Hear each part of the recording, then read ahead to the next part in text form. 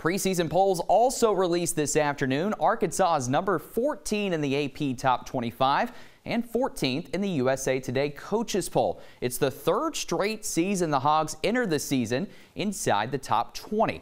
Arkansas added nine to the roster this offseason, seven via the transfer portal. Eric Musselman's crew opens the season at home November 6th against Alcorn State.